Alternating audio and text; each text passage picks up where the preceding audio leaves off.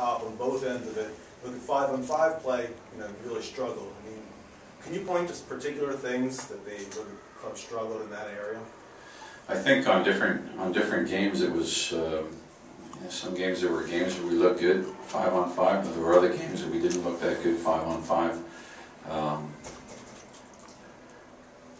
You know, with, not, not to go back on what you said, but I, I just think that through the course of the season, there were different obstacles that we were overcoming. And, um, you know, ultimately, those obstacles we, we couldn't overcome. Five on five, I think that some games we needed to play better than we did, and we didn't. So, yeah, I would, I would say five on five at times let us down.